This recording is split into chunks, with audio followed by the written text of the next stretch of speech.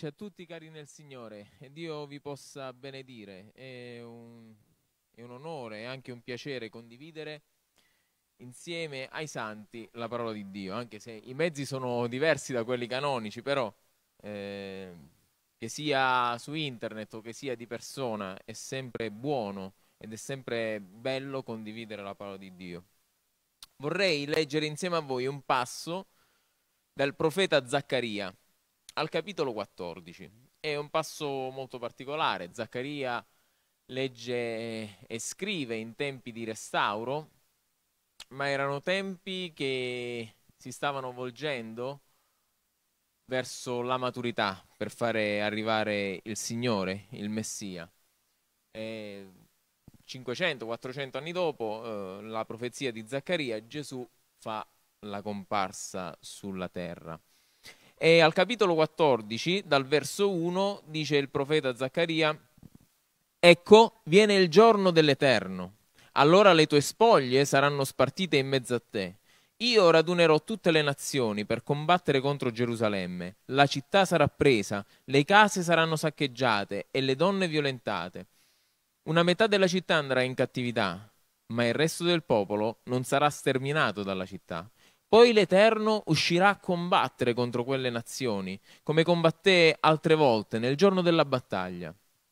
In quel giorno i suoi piedi si fermeranno sopra il monte degli ulivi, che sta di fronte a Gerusalemme, ad est, e il monte degli ulivi si spaccherà in mezzo, da est a ovest, formando così una grande valle.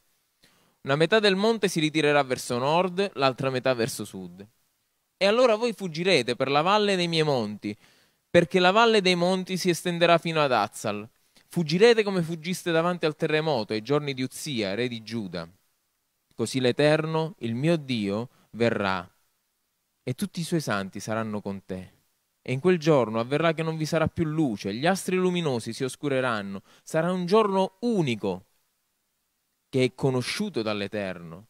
Non sarà né giorno né notte, ma verso la sera vi sarà luce. In quel giorno avverrà che da Gerusalemme usciranno acque vive. Metà di esse andrà verso il mare orientale e metà verso il mare occidentale. Sarà così tanto d'estate che d'inverno. Alleluia. Questo passo parla quasi esclusivamente del tempo della fine. Se noi leggiamo il capitolo precedente di sempre di Zaccaria, il capitolo 13, parla della, del ministero terreno di Gesù, dice che ci sarà una fonte aperta in Gerusalemme così è stato quando Gesù eh, venne sulla terra, si incarnò e iniziò a predicare il regno di Dio, una fonte aperta. Ma poi, verso la metà del, del capitolo 13, si parla che il pastore viene colpito e anche le sue pecore. Come noi sappiamo Gesù è morto e poi è risorto ma nonostante tutto le sue pecore sono state anche disperse, colpite perché c'è stata la persecuzione. Oggi forse noi nel, nel, nostro, eh, nel nostro emisfero o comunque nella nostra modernità, nel nostro essere occidentali non riusciamo a vedere questa persecuzione, ma in molte parti del mondo ci sono persone che pagano il prezzo molto alto con la propria vita soltanto perché amano e adorano e proclamano il nome di Cristo Gesù. E dice, viene il giorno in cui le tue spoglie saranno sparse in mezzo a te. Io radunerò tutte le nazioni per combattere contro Gerusalemme. La città sarà presa, le case saranno saccheggiate, le donne violentate, una metà della città andrà in cattività, ma il resto del popolo non sarà sterminato. È un tempo molto lungo che descrive questo, però sicuramente questa è, il, ehm, e di tutte le volte che Gerusalemme è stata combattuta ed è stata distrutta, questa è la volta in cui nella storia eh, Gerusalemme, il popolo di Israele ha fatto veramente fatica a risollevarsi. Nel 70 Tito, generale, sotto l'imperatore Vespasiano, conquista la Giudea e Gerusalemme viene presa e viene distrutta definitivamente. Ci vorranno millenni per essere poi eh, ricostruita. ma questo lasso di tempo arriva a noi. Arriva a noi con eh, una proiezione profetica verso il futuro, perché quando qui dice che tutte le nazioni si, eh, si raduneranno per combattere contro Gerusalemme, contro la città, se noi leggiamo le parole del profeta Gioele che rispecchiano i nostri tempi, queste parole sono riferite al tempo della fine e non soltanto al tempo che è stato subito dopo la morte e la resurrezione di Gesù, ma anche il tempo della fine ha le stesse peculiarità. E mentre le nazioni sono unite per combattere Gerusalemme, quello che è il popolo di Dio, che in questo caso non sono solo eh, gli israeliti, non sono solo gli ebrei, ma siamo anche noi che crediamo e proclamiamo il nome del, del Signore. E dove c'è una figura, l'Osca, che si sta per manifestare, lui vorrà combattere contro il Cristo lui vorrà combattere contro il vero Messia, e mi riferisco all'anticristo, ma le nazioni, le nazioni no, le nazioni saranno sedotte, saranno eh, abbindolate, se possiamo usare questo termine. Probabilmente eh, questo losco individuo farà credere che Dio non esiste, che Gesù non esiste e che coloro che proclamano il suo nome sono dei fanatici. E allora combatteranno contro questo popolo e probabilmente molti moriranno, molti saranno perseguitati, molti saranno torturati. Alla fine ci sarà una grande battaglia. E ci sono momenti, anche nella storia è stato così, in cui eh, il Signore non si è fatto avanti fino all'ultimo momento. E nei fedeli nel tempo molto spesso hanno vacillato nella fede e dicevano Signore perché non operi? Noi speriamo, noi crediamo in te, ma c'era silenzio nel cielo. Ci sono, ci sono periodi in cui il Signore non parla, ci sono periodi scuri, buissimi. Ma al verso 3 c'è una promessa meravigliosa. L'Eterno uscirà a combattere contro le nazioni. Attenzione! Qui non dice che manderà un esercito, qui dice l'Eterno uscirà a combattere contro quelle nazioni. Lui uscirà a combattere contro quelle nazioni. Come combatté altre volte nel giorno della battaglia. Non si farà vedere prima. Arriverà un momento in cui il popolo di Dio sarà assediato, sarà pronto per essere distrutto, come al periodo, mi, mi viene in mente il periodo di Esther, che nel momento in cui l'intero popolo di Israele doveva essere sterminato, il Signore capovolse la situazione. Lui viene nel momento della battaglia, ma c'è una eh, dimostrazione fisica di quello che sta per accadere. Dice, in quel giorno i suoi piedi si fermeranno sopra il Monte degli Ulivi, che sta di fronte a Gerusalemme, a est. E il Monte degli Ulivi si spaccherà in mezzo da est a ovest, formando così una grande valle. Una metà del monte si ritirerà verso nord, una metà del monte si ritirerà verso sud. È un passo molto particolare. Noi vediamo che ci sono delle assonanze, le troviamo nel Nuovo Testamento. Se noi leggiamo un passo in particolare di Marco, se non ero al capitolo 13, vediamo che Gesù si va a sedere sul Monte degli Ulivi e lui dal Monte degli Ulivi riesce a vedere il Tempio. Una vista meravigliosa. Questa città splendida era la città di Davide, dal Monte degli Ulivi poteva essere vista nella sua meraviglia. Ma questa dimostrazione fisica come può essere eh, dimostrata? Zaccaria era un profeta. I profeti scrivono cose e non sappiamo, la maggior parte delle volte sono state eh, confermate nella Bibbia. Altre aspettano il proprio compimento. Ma quando Gesù se ne andò su nel cielo, sapete, Gesù morì, fu crocifisso, poi risorse e poi rimase con i discepoli per 40 eh, giorni. 40 giorni immagino meravigliosi che hanno trasformato le vite dei discepoli, poi suggellate dieci giorni dopo con lo Spirito Santo. E mentre Gesù gli fa la meravigliosa promessa che dovevano ricevere potenza quando lo Spirito Santo sarà stato su di loro. Atti 1 al verso 9 dice, dette queste cose, mentre essi guardavano, fu sollevato in alto. E una nuvola lo accolse e lo sottrasse sotto i loro occhi. Gesù stava parlando con i discepoli e a un certo punto lui fu elevato in cielo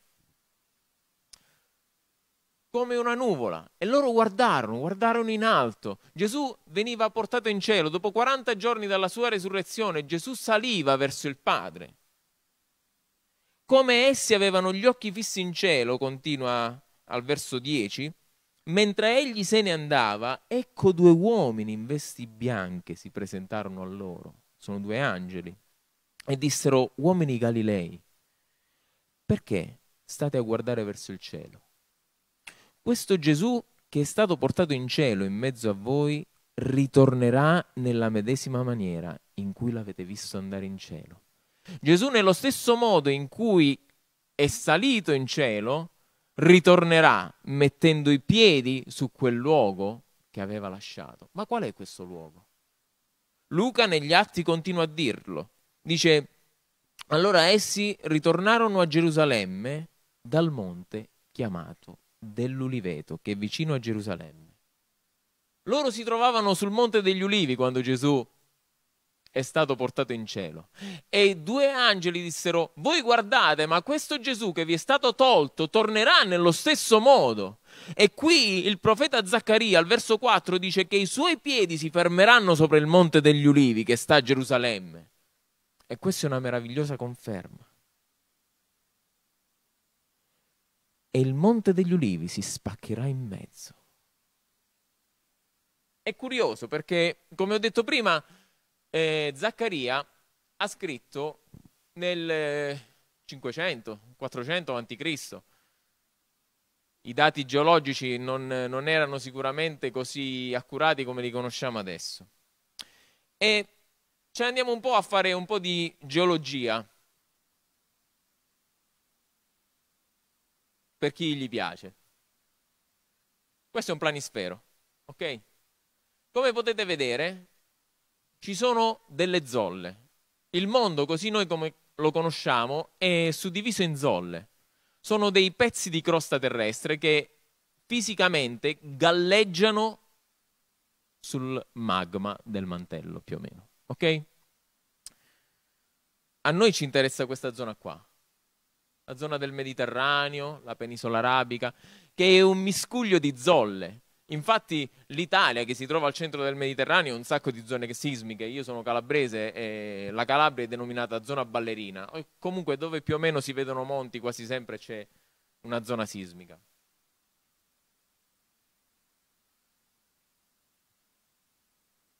I geologi hanno scoperto che dal Mar Rosso sale una zolla e passa dal Mar Nero. Passa proprio in mezzo alla Terra Santa, divide il Mar Nero in due e sale verso sopra.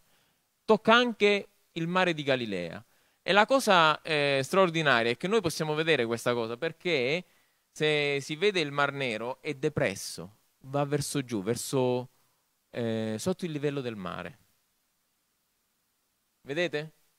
È segnata qui la zolla dal Mar Rosso sale, Mar Nero, questa è Gerusalemme, Tel Aviv, Haifa, sale sul mare di Tiberiade e continua questa faglia. Divide le due, le due zolle, la zolla africana e la zolla arabica. E quando ci sono due zolle, generalmente le zolle possono avere eh, tre, tre, movimenti. O eh, vanno una contro l'altra e si sovrappongono e si formano delle montagne. Un esempio è la catena dell'Himalaya. L'India spinge sull'Asia e si è formata questa catena dell'Himalaya. Oppure slittano uno con l'altro. Oppure eh, si accavallano.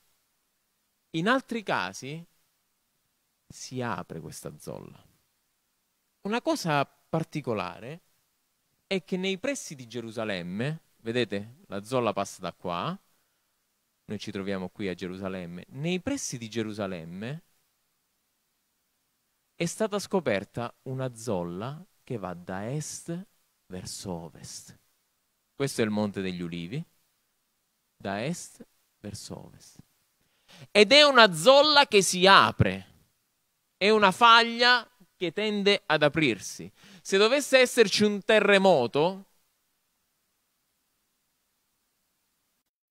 parte salirebbe verso nord e parte verso sud. In quel giorno i suoi piedi si fermeranno sul Monte degli Ulivi che sta di fronte a Gerusalemme, a est.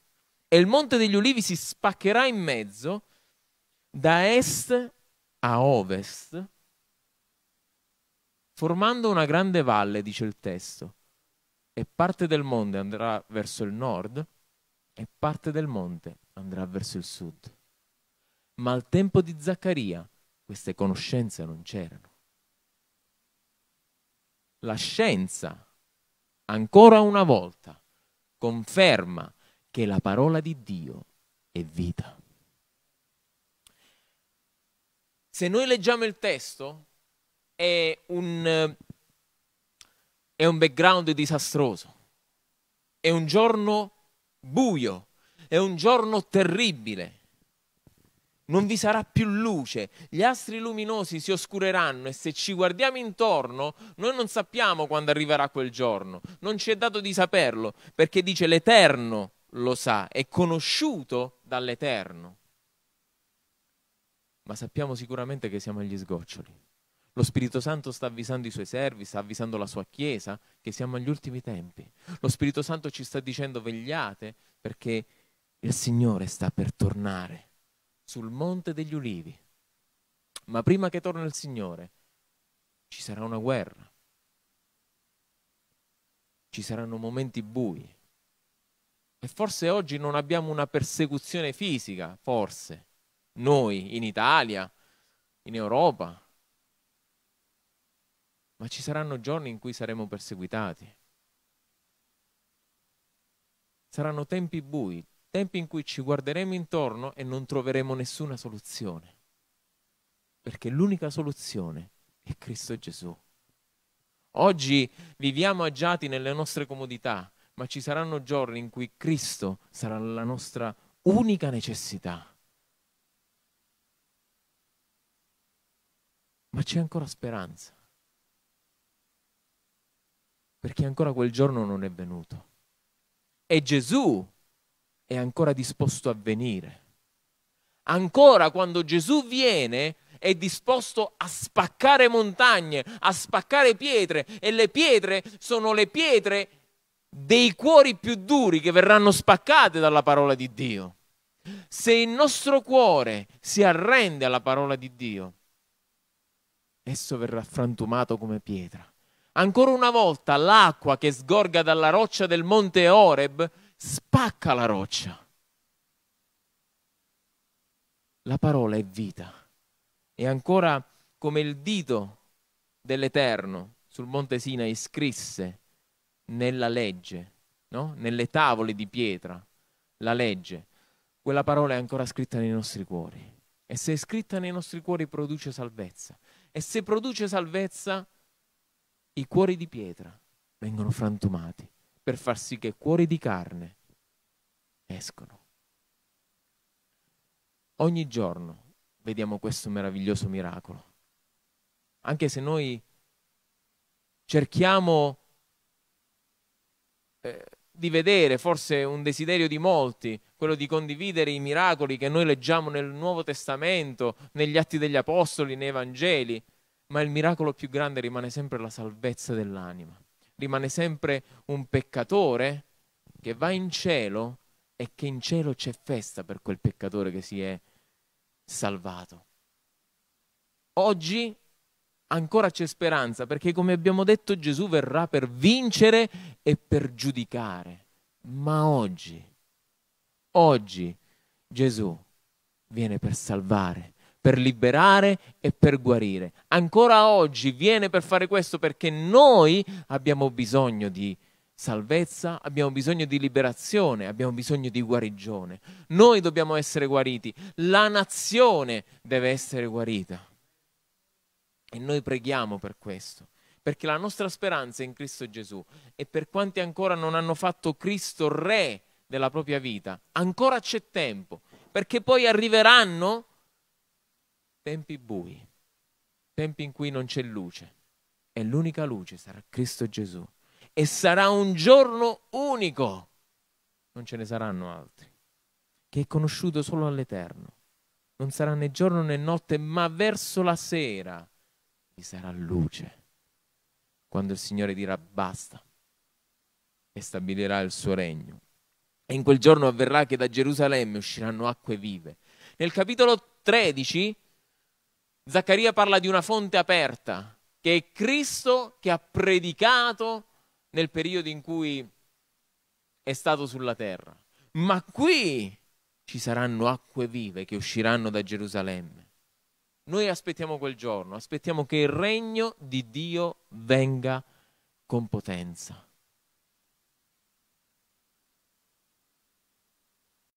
E se ancora Cristo non è re sulla nostra vita, è importante sapere che un giorno lui sarà re di tutta la terra. Il verso 9 di questo passaggio che io non ho letto e che voglio condividere adesso con voi dice e l'Eterno sarà re su tutta la terra. In quel giorno ci sarà soltanto l'Eterno e soltanto il suo nome. Se la nostra speranza è in altre cose vanescenti, Cristo è l'unico re che durerà, è l'unico re che rimarrà, perché il re dei re è Signore dei Signori. E detto questo, rendo grazie a Dio per la sua parola e vi vorrei invitare a unirvi con me in preghiera e dire insieme a me, Signore, apri i nostri cuori e apri le nostre orecchie perché sappiamo che il tempo sta giungendo alla fine e che tu tornerai. E ancora di più noi desideriamo, gridando insieme ai santi che ci hanno preceduto, Signore torna, Maranata, noi vogliamo vedere la tua gloria. E ancora noi vogliamo insieme, la Chiesa, quanti siamo collegati, quanti vedranno eh, il video in un secondo momento insieme, vogliamo rendere grazie perché la sua parola è stabile nei cieli e la sua parola riesce a, a rompere le pietre più dure. E per quanti ancora devono essere conquistati da Cristo Gesù, Signore opera perché questa città noi la mettiamo nelle tue mani, questa nazione noi la mettiamo nelle tue mani affinché il tuo regno venga e sia proclamato nel nome di Cristo Gesù. Amen. Dio vi benedica. Pace sia su di voi.